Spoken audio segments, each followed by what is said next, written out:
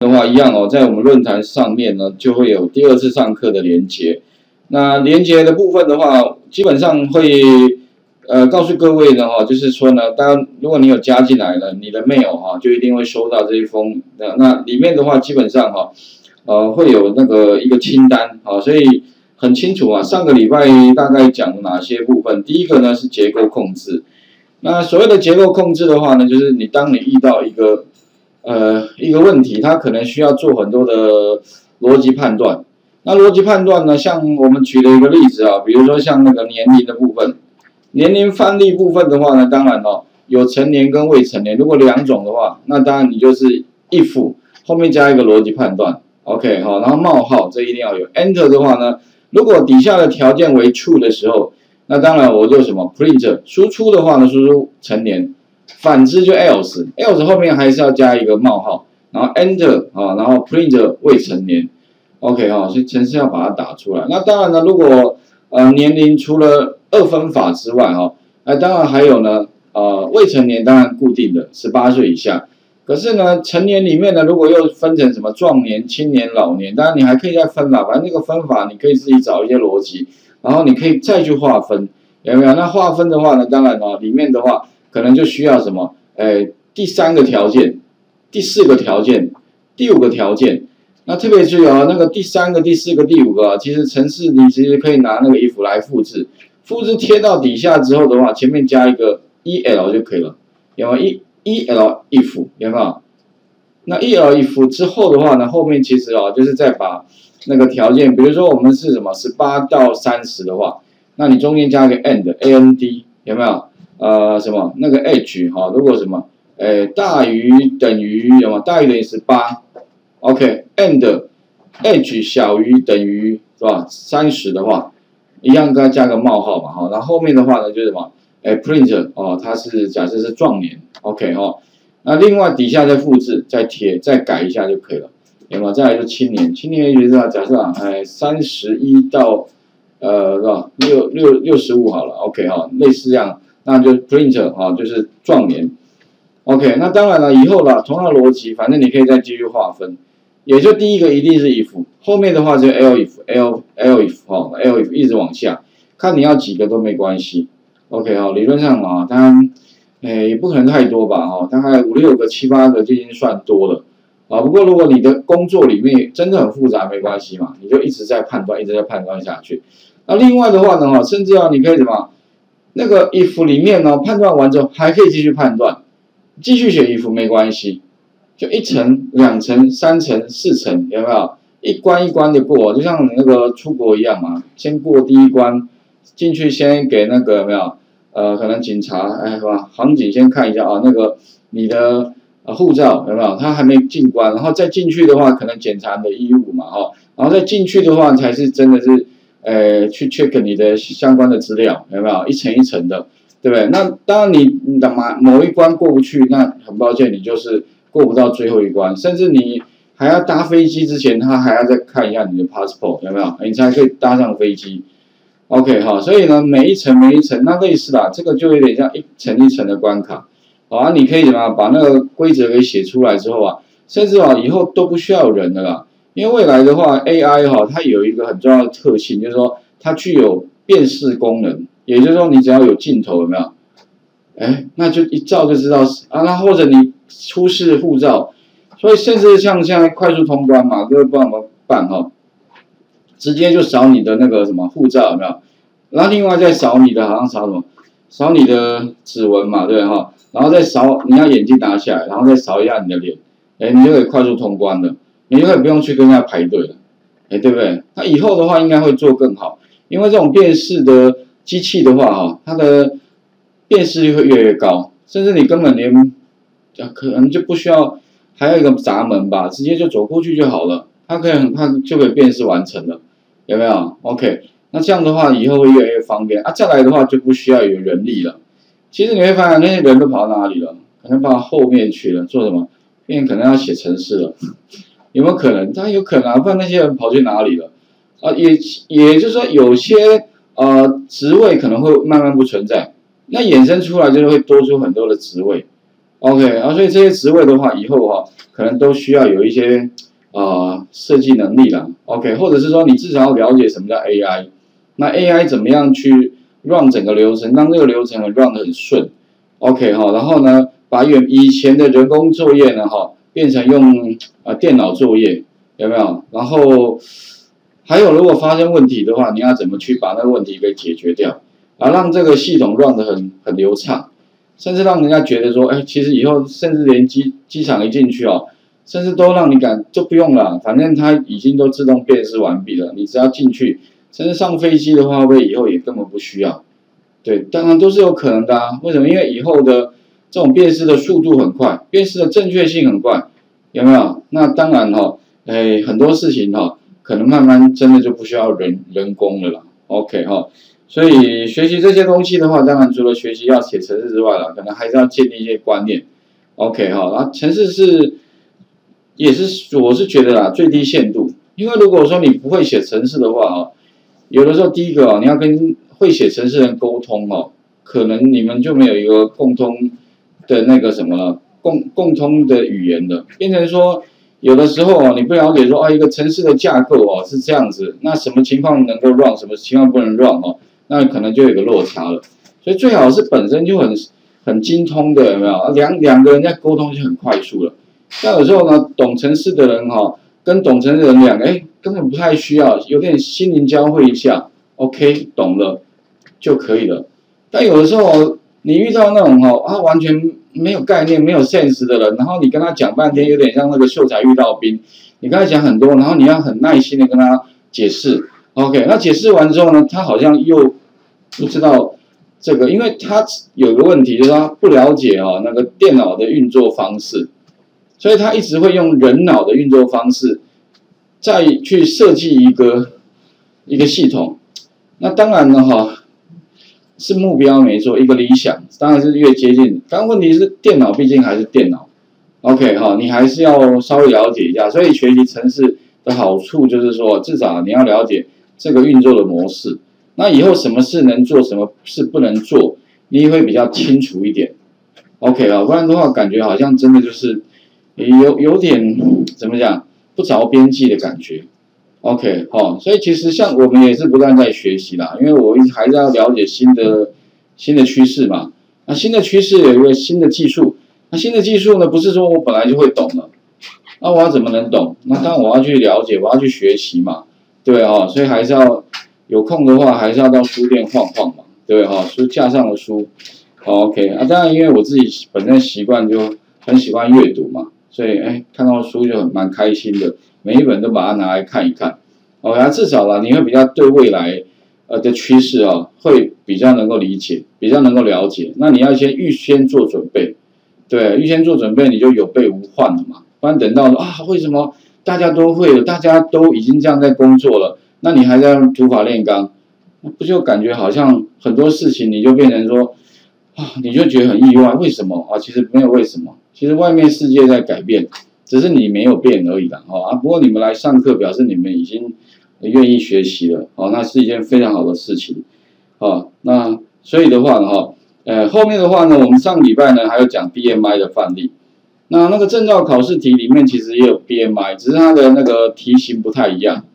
好，我们这一题是来自于 Google 上面的，有没有？我们 Google 第一个那个 BMI 的范例修改。那证照考试题的话啊，它逻辑上基本一样，但是没有考的那么可能逻辑复没有那么复杂吧？我觉得还甚至比较简单一些些。OK 哈，呃，我也忘了第几题，反正你们可以看一下，应该是第二个单元还是第三个单元吧？哈，第第第二类还是第三类？那另外的话呢，哈，呃，BMI 里面呢，我们还有讲到有关格式化。有没有格式化的话，当然会用到一个函数叫 format，哎，特别是哦，这个 format 哦非常的重要。往后的话呢，因为以后如果要做一些呃文字上的格式化哦，那都会用到 format 这个函数，应该还记得怎么用吧？哦，回去可能要演练一下。你必须要先告诉他说，你要取到小卷第二位的这个规则，它一定是个文字，所以一般习惯会先打一个字串，里面放个大刮胡冒号。呃，冒号点二 f，意思说我要取到小数点的第二位。OK，应该这城市云端上都有了，所以你们其实哦，可以再把云端白板的第二单元里面找到，有没有？那 BMI 的城市其实就在我们云端白板的第二个单元里面啊。这个这个地方是，呃，这个年龄的范例哈，就这样而已啦。所以其实你回去把这这个可以写出来，那表示你 OK 了哈。然后另外的话就是那个什么前期我们有做变化，那另外还有就是说呢，刚刚提到的这个地方啊，然后有用到一个叫 format 的东西。有没有？其实会在第几页呢？第十页的地方，啊，最后最最后呢，再利用这个 format 全部串在一起。所以你会发现啊，这个串在一起的话，如果我要做出这个上面的效果，包含什么呢？包含那个两呃什么前后的双引号，那这个一定要用反斜线双引号，这个也是一样。那这边有个换行，换行的话就反斜线 n，OK 哈，然后就把它全部串在一起，最后的得到的话就是这么一长串，最难的地方。就是这个地方，我有放在云端白板的第十一页上面。还有呢，要去掉那个 print 本身的换行的话，就是逗点 e n d 等于啊两个冒呃两个双引号，就表示说呢，把它 print 预设是会换行，而我不要让它换行的话，那你可以什么再加一个逗点 e n d 啊等于两个双引号就 OK 了哈。那这个部分的话是上个礼拜讲到的啦，所以回去尽量哈。可以的话呢，呃，就是再把它写过。也许啊，那你如果还没有那么在行，没关系啊，至少重新看着打一遍也 OK 了哈。因为不是每个人都那么天才嘛。哦，我是有看过有那个小朋友很厉害哦，他城市看过一遍哦，重打一遍完全一模一样哎。哇，天哪，太厉害！而且像那种证照考试题哦，里面大概几十道题，他真的就是全部把它看过一遍哦，全部就重打一遍执行。居然是完全一模一样的，哇，天哪！我觉得这个小朋友实在太厉害了。然后那个小朋友他蛮特别，他不喜欢读书，就一直打游戏，打游戏。然后呢，后来念了一个不是很好的一个学校吧，高职然后，然后他爸妈觉得说怎么办？这小孩以后呃完蛋的哈，就一直玩游。后来呢哈，发现他有城市设计的这方面的天才，哎，就要让让他来学城市。学城市之后的话呢？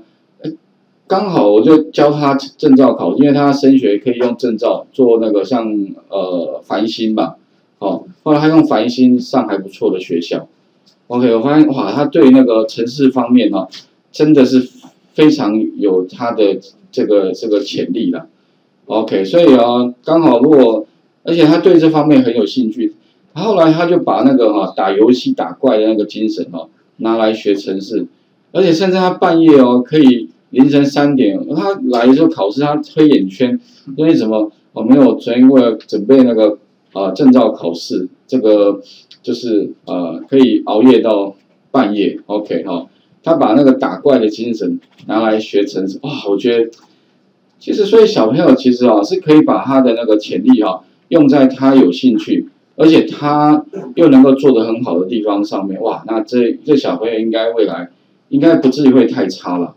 只是说哈，我觉得家长应该有个任务，就是你要帮他找到兴趣，OK，而不是说你一直逼他一直把书读好。哦，像我是不太会一直逼着我小朋友说你一定要啊成绩一定要多么了不起的，因为你分数毕竟就分数嘛。哦，考好不就是一个分数？但是态度啦，我觉得还有就是说，你对于有些东西哈，是不是能够真的非常有兴趣，能够持之以恒？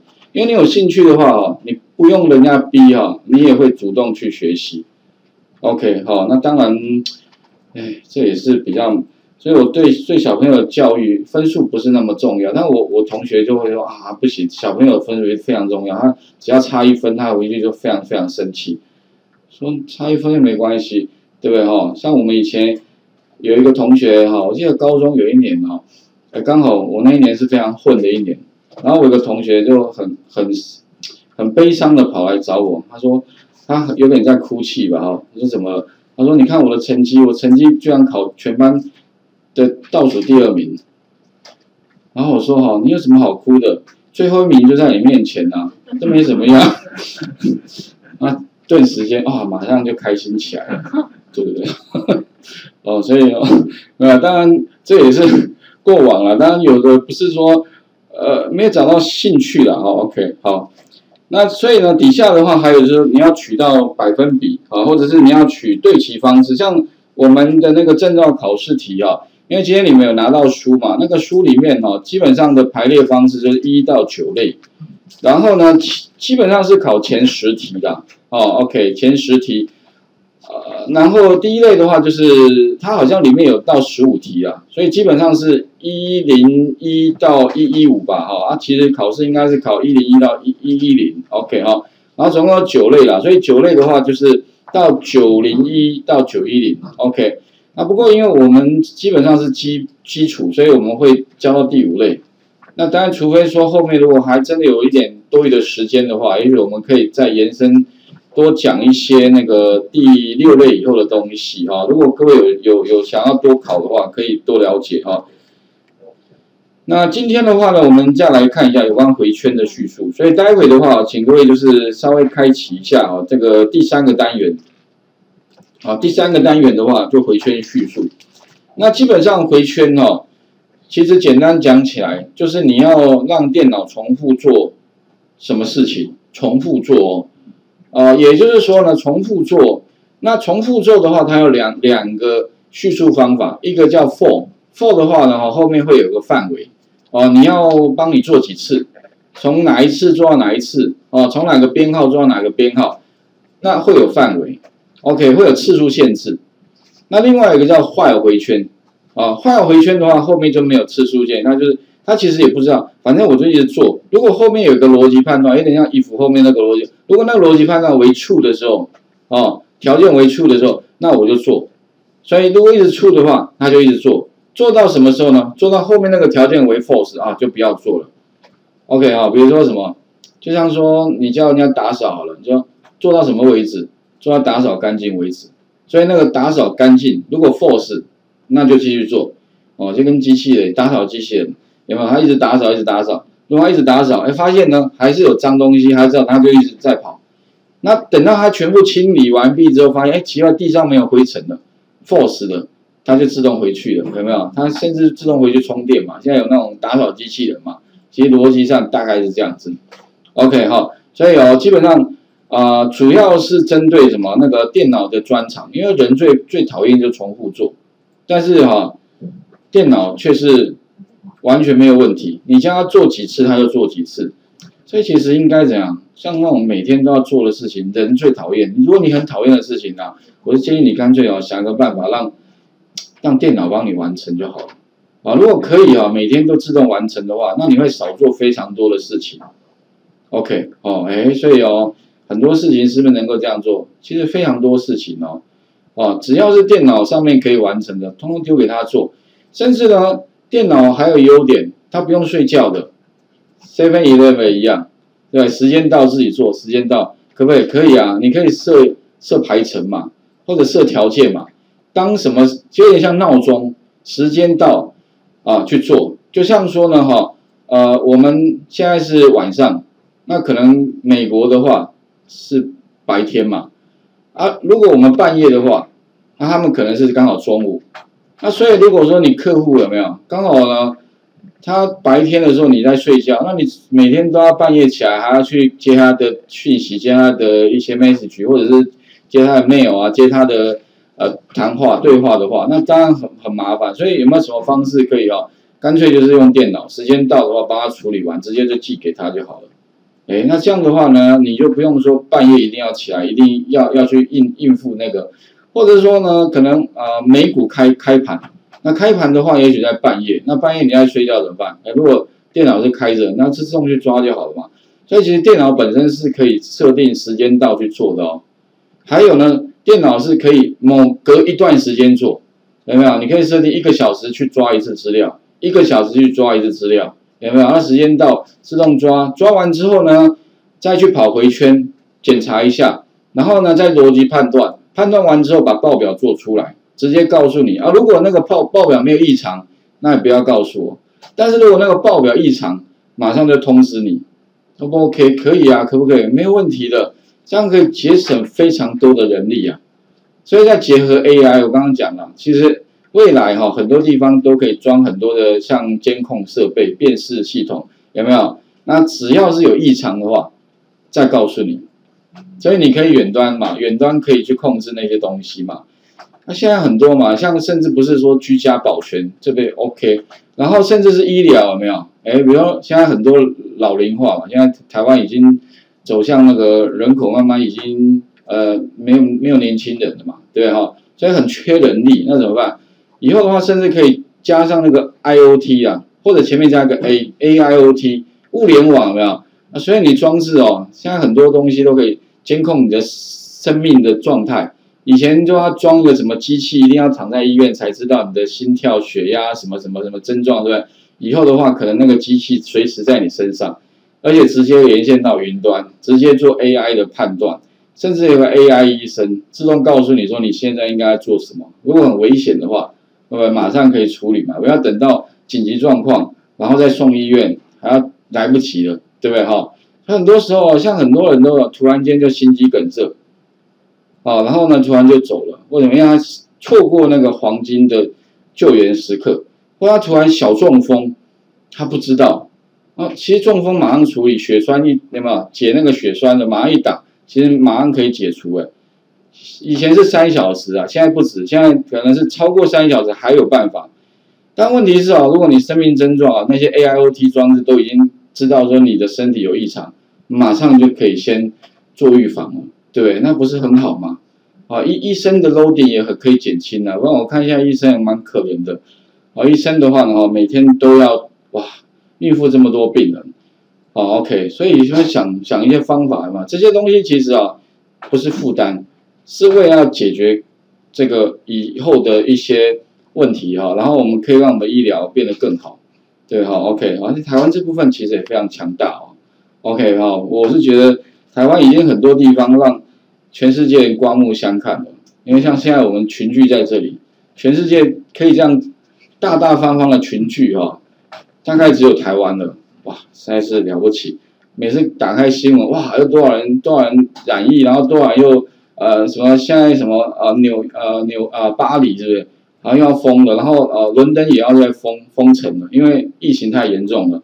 OK 哈，好，那这些东西其实都可以透过城市。像回圈逻辑判断，所以待会的话呢，我们来看，那请各位呢把刚刚的部分先试着哈，哎把它让把它开起来，环环境也先试着像那个 Spider 哈，把它先开起来。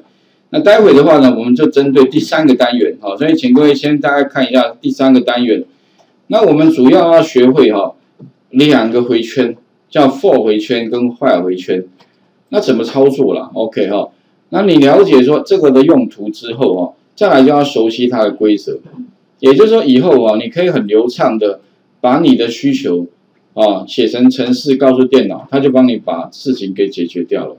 我觉得这还蛮蛮不错的，而且嗯，感觉其实做起来真的每次都觉得蛮有成就感的，因为你可以哈很没有障碍的跟机器对话，然后那个机器哦就 stand by 在那边的，它就随时呢哈，然后。二十四小时哎，等于你把那个东西程式写出来，等于变出一个助理哎，变出一个攻读生哎，变出一个保全员哎，对不对？那他就是呃，除非说没电了哦，要不然就还有什么，应该没什么状况嘛。现在机器也都做的还蛮蛮蛮蛮坚固、蛮耐用的。他就在那边 stand by 好多年啊。如果有异常的话，你再去把它检查一下，通常是可能是呃里面可能呃。散热不良或什么，要把它修复，或者把它换一个新的上去就好了，这样它又可以继续 work 了。OK 哈，所以其实这些的呃方式的话呢，你会发现呢，大量的在我们身边不断的在在在在使用当中。OK，像我刚刚举的例子啊，现在现在很多的工厂有没有，也都是这样在做事情，有没有？就是尽量在节省人力啦。像以前要检查那个板子有没有。错误的有没有坏掉，或者是没有做好的？以前都用眼睛看嘛，哦哪里哪里把它挑出来。现在不是啊，现在直接用什么？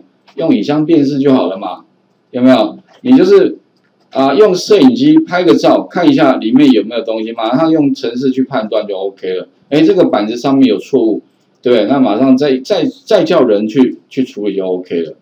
这样的话，大大可以省掉很多的那个。呃，人力啊，那其实人就是金钱啊。另外的话还有效率，有没有？速度也够快。OK，好，所以哦，其实从这一点看起来哦，现在台积电哦，可以这么的夯哦，股票股票市值可以，其实也不是没有原因的哦，哇，几乎把所有可能的技术哦，哎，都把它加进来了，有没有？像刚刚讲这些东西，全部哦，通通都把它集结在那个他们的工厂里面，OK，那他两率就增加了嘛，对哈，其他对手就无法竞争了，OK 哈，好，所以请各位哈试试看哦。